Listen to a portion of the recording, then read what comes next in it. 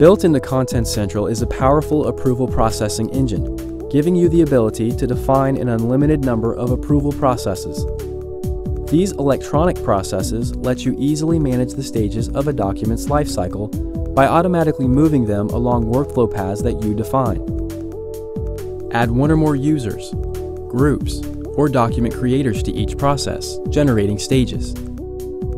Add deadlines and priorities to enhance control over each stage, encouraging or requiring users to first process higher priority items. You can create special stages for peer review and ad hoc selection of users as documents move from one stage to another.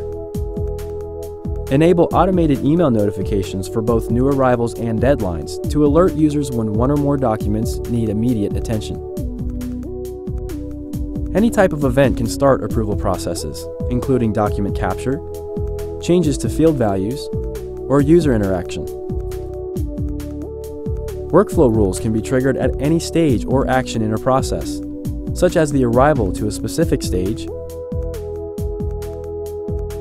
or an approval by the final member.